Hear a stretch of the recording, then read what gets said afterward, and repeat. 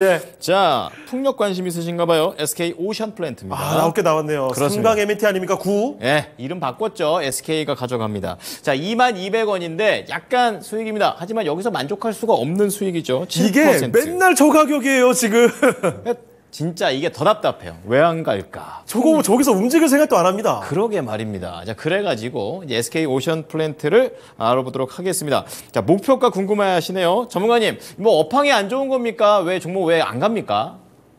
업황이 안 좋은 게 아니고 종목이 안 가는 게 아니고 갈 때 되면 갈 거고 이 주식도 제가 한 두 번 정도 얘기해 드렸던 주식인데 한번 볼게요. 펀더멘탈부터 보면은 일단 이종복이가 펀더멘탈 보면서 말이 경쾌하면 그건 뭐 거의 100%죠, 여러분.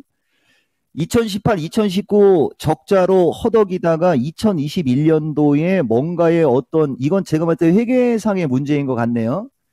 당기 순이익이 마이너스 800억대로 떨어져 있다가 다시 흑자 전환이 되고 2023년이 800억, 2024년이 1000억, 2025년이 1200억. 매년 20% 이상의 성장세는 나오고 있거든요. 근데 이미 적자, 적자에서 흑자로 돌아선 시점에서 주가가 지금 이 차트상으로도 보면 너무 많이 급등을 했죠. 그러니까 이 주식은 누차 얘기하지만 어떻게 보면 그 적자에서 흑자로 돌아- 돌아서면서 여기가 1,700원이고 3만 원이지 않습니까?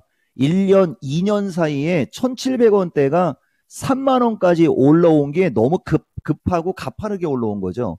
배터리나 2차 전지와 같이 퍼가 높고 성장성을 바탕으로 올라간 주식들만큼 올라간 건데 이 보다시피 SK 오션 풀에는 성장성을 갖고 가는 게 아니고 캐시카우를 갖고 가는 거지 않습니까? 그- 이미 여기서 많이 올라와서 지금 못 가는 겁니다. 근데 아까 보다시피 매년 20% 이상의 성장이 나오고 있지 않습니까?